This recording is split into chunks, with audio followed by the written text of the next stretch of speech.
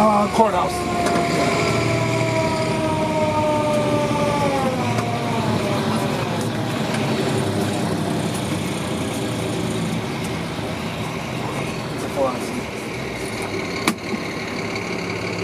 Thirty-two, Visit Four oh two, have Adrian Miller ambulance with.